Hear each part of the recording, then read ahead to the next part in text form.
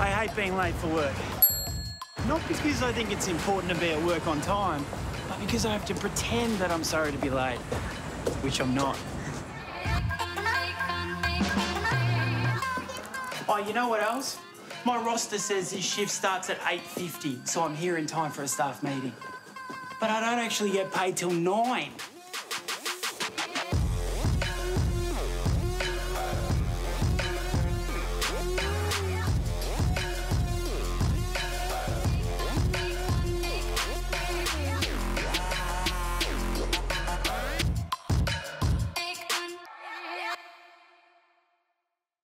So my day consists of... Shawnee. Here we go. Hey, mate. hey! Hey, you all right? You've been late a lot lately. Yeah, look, Gary, I'm, I'm really sorry about that. I got caught behind an accident. You should leave early to avoid things like that. And then if you get into work early, you can set your department up. Start the day with a bang, brother. Bang. I kind of wanted to bring that up with you. Yeah.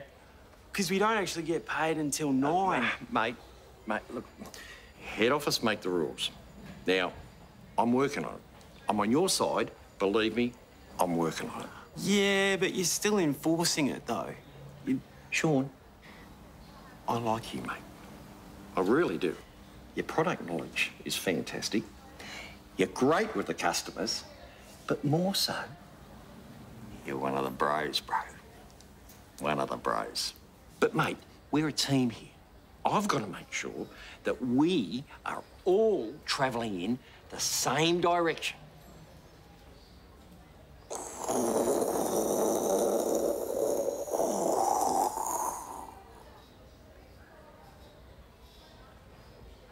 Anyway, look, forget about that. What do you got planned for the weekend? I, a, a bit of a quiet one. Perfect. I'll need you for Sunday. Brett's got something on, so cool. Oh. Yeah, yeah. no, Should good. Legend! Pound it. Legend. now, mate, get out there and have a huge one. Good on you, mate. Damn it! Happens every time. Rule number one of retail always have something planned, otherwise, they'll assume you can work. Okay, so where was I? Okay, so my day consists of. Sean! Damn it. Mate. Uh, what's going on with you lately? Hmm? Third time you've been late this week. Yeah, sorry, I got caught behind an accident. Well, mate, you should leave with enough time to compensate if something like that happens. And if you do get here early... Oh, I can just work for free for half an hour till 9 a.m., yeah? Wow. Uh, don't know what to say. Yeah, but it's true, isn't it? Mate, I'm just like you. You know, we're a team.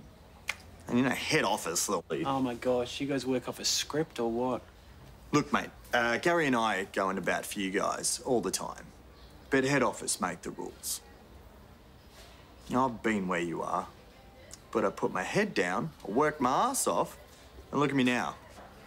Two fucking IC. Yep. Okay, mate, just get here on time, mate.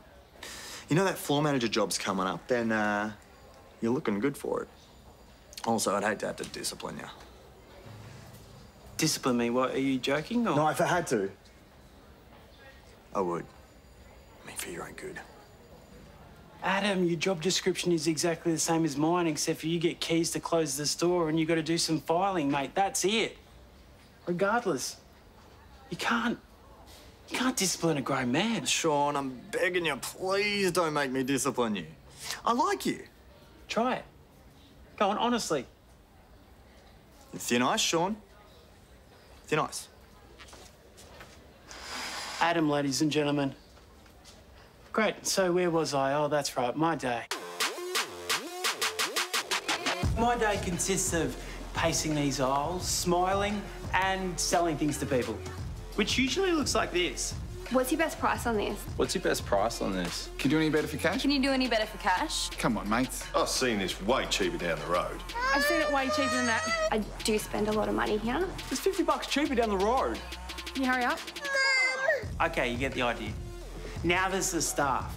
Like all retail stores, we have a full range of alpha male salesmen, bitchy counter girls, and incompetent managers.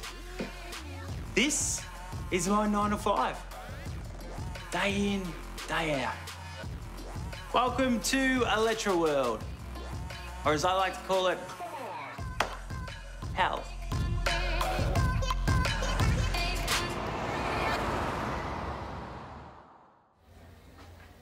Excuse me, Yes. Hello, how are you today? do you work here? I've been standing here for half an hour now. Yes, I do work here, and are you sure about that? Because I was behind here about 10 minutes ago. Are you calling me a liar? No, not at all. I was merely stating the fact that maybe you overestimated the amount of time that you were waiting here. But look, I, I'm sorry, how can I help you? Hmm. I'd like to return this camera, please. Yeah? Okay. Yep, I can help you with that. What seems to be the problem? It doesn't take good pictures. How so? It's actually a really good camera. All the photos come out blurry and some are dark. Right. What were you taking photos of? My husband and I went away for a weekend and I was trying to take lots of photos as we drove around and it all looked terrible. Okay, so when you say driving around, you mean you would drive, stop, take a photo. No, we didn't have time to get out all the time. Well, so you were taking photos when you were driving? While my husband drove, yes. Right, that seems to be the problem. It's really hard to hold these still while you're driving and get a clear picture. The camera's not faulty. Plus, the car's moving as well. You'd be struggling to get a good shot without a DSLR. Look, I know how to use a camera and this one isn't working. Okay. Smile. Look at that. See? Clearly in focus. Well, it only happens sometimes. Regardless, I want a refund. It didn't work for the purpose I bought it for. Look, I, I'm really sorry, but we can't give you a refund unless it's faulty. It takes blurry pictures. No, no, no. Remember, I just took a photo of you. You just can't take a photo out of a moving vehicle and expect it to be in focus. Well, that's false advertising then. Where did it say that on the box? Well, the list of things it can't do are much longer than what it can do. How do you mean? Well, I mean, they're not going to list all the things that it can't do. You know, you don't buy a toaster and then they put on the packaging, this toaster won't turn into a car. Now you're talking nonsense. No, I'm not. I'm stating a fact. I'm really sorry, but we can't return this because it's not faulty. I'll take a credit note then. It's the same rules apply, sorry. I'd like to speak to the manager, please. Yep. Okay. I'll see if he's available.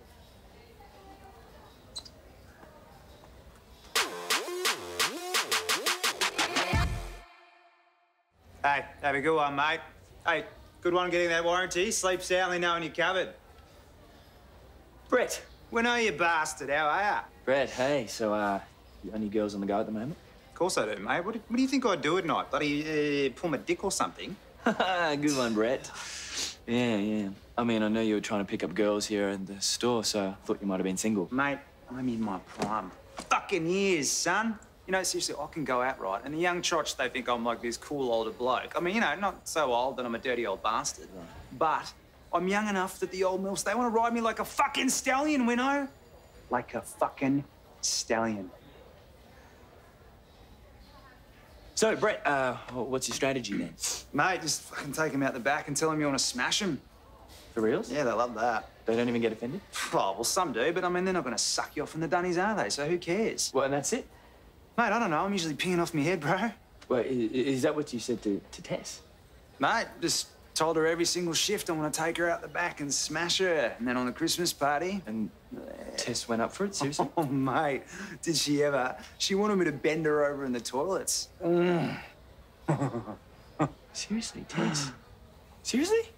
Oh, look, mate, I think, I think I know what this is about. And the answer is yes. Sorry, sorry, sorry, Brett. Sorry, what? Yes, the Brettonator will be your wingman. Yes, we're gonna go out and get smashed, and yes, you're gonna drain those little balls, mate. Just ask if you want a party, bro. Um, no, no, no. That's that's not what I was getting at.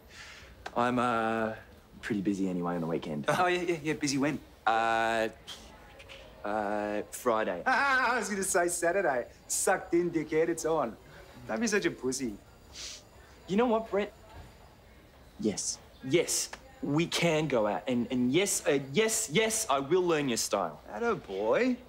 Hey, can you look after TVs for a sec? I'm gonna go snap off a deuce. I'm sorry, did I just overhear you and Brett making plans to hang out on Saturday?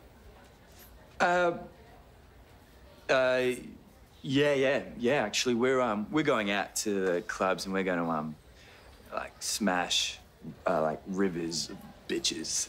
Okay, what are you doing? Why are you laughing? This whole attitude just doesn't suit you.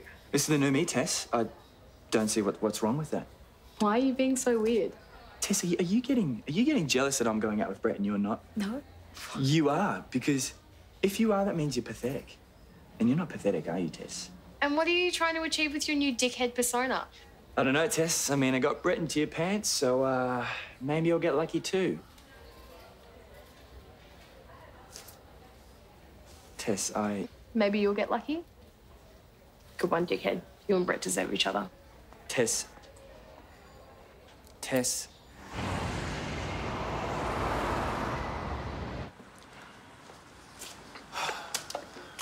Hey, shiny boy. Hey, How are you, mate? What's going on?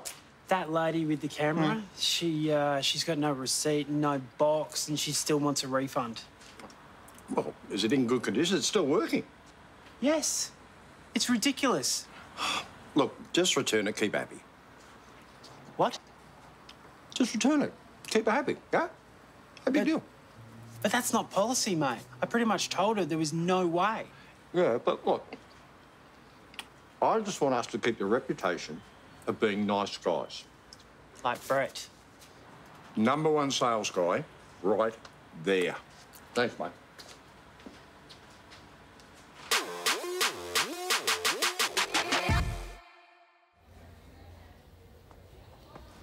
Finally. Well, how did you go? Well, I spoke to the manager and he said just this once, he's happy to give you a refund. I knew it. Can you just grab a Lucky you spoke to him. It's incredible the trouble you have to go to to get good service. Yeah, okay, cool. Can you just grab. Huffing and puffing won't do anything. And you're lucky I don't get your manager out here and report You you. And... shut up! I'm just following the same rules as everyone else. I thought this job was going to be easy.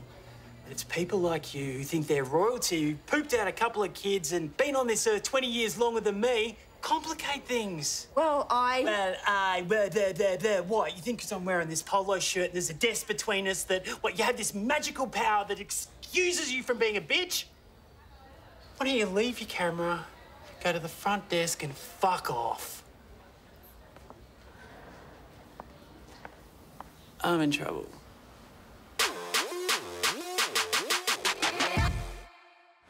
Fuck is this shit?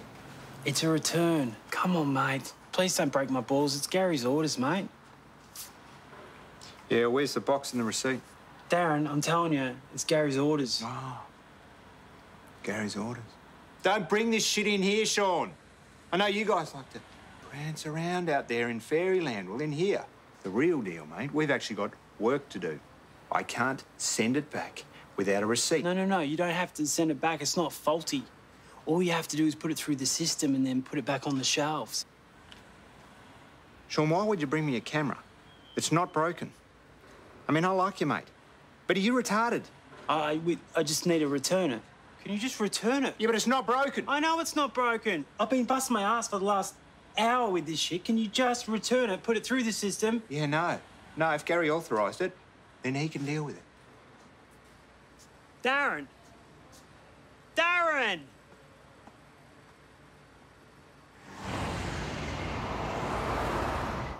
Okay. Have a great day. See you later. Bianca, can you just get that? Sure. Welcome to Electro World. This is Bianca. How may I direct your call?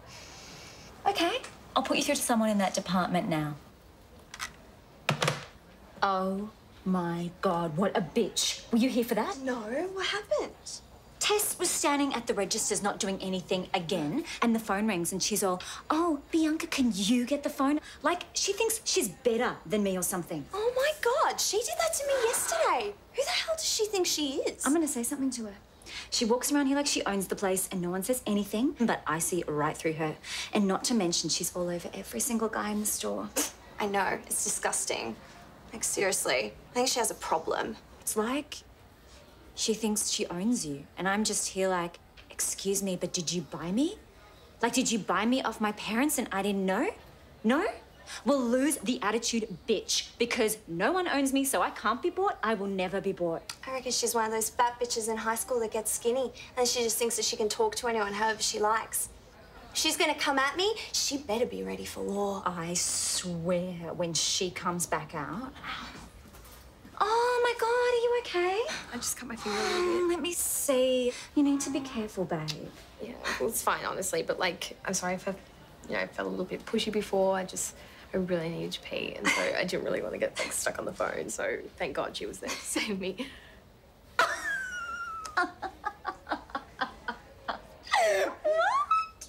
Oh, you mean the phone thing? oh, yeah. don't be silly, babe. My God, no. As if I'd think anything like that. Okay, good. Well, I just wanted to make sure, but I just need to get a band-aid for this, so I'll just be back in a second. It's fine. Take your time, babe. It's quiet anyway. Thanks. Oh my God.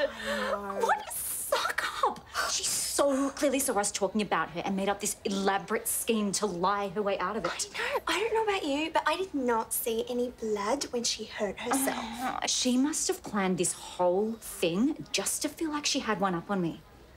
Pathetic.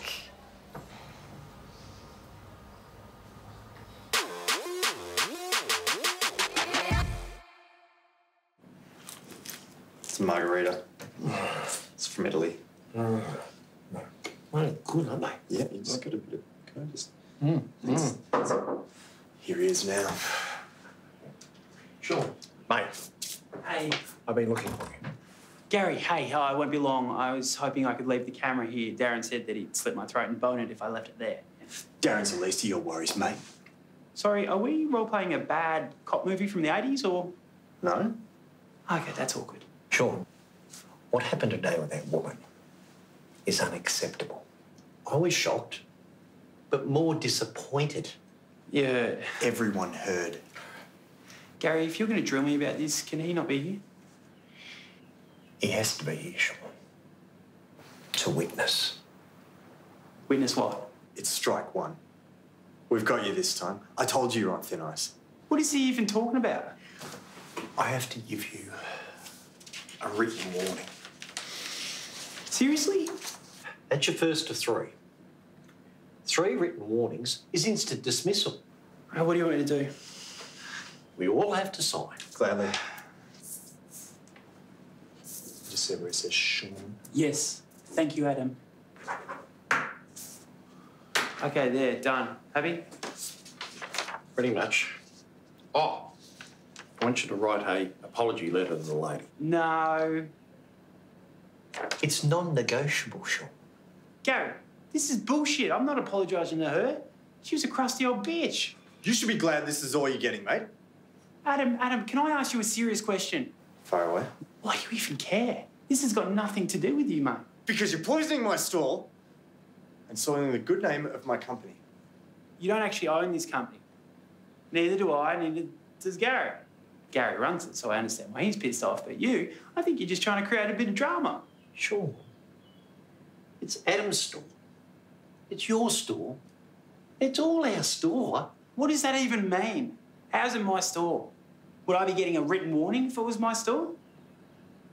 Gary, you really effed me in the butt today. I was following store procedure and you told me to break it. And I was exercising a human right to not get treated like a pile of poop. Right, And now, now you want me to apologise to her? And you hit me with all this teamwork crap? Yeah, man, cool team. Brother, I know it looks like that, and I do apologise. But there's some good news coming out of this. Head office still likes you for that promotion that's coming up. Are you serious? Look, everyone has off days. Everyone. If you apologise, all will be forgotten, and you'll be moving up the chain of command, mate. Yep. Are we good, mate? My man. There it is. Oh. Oh. Whew. Sorry I get so fired up. Ah, I just, I, I guess I'm just passionate about my team and my bros. You know, all brothers get into scraps, don't they, Gary? Yeah, I guess it's just part of being in a family, eh? Anyway, look, it's almost knock-off time. What do you say, mate? Can you whip up that apology letter tonight and bring it in tomorrow? Yes. Good man. Good man. Good on you, mate. Fantastic, Johnny. See you, Shorty. I've got to tell you, mate, I hate the feeling before these heavy meetings. I love it afterwards when you get it all out in the open. Makes you feel so much better. I know what you mean, Phil. Oh. Yeah. Good on you, mate. Yeah.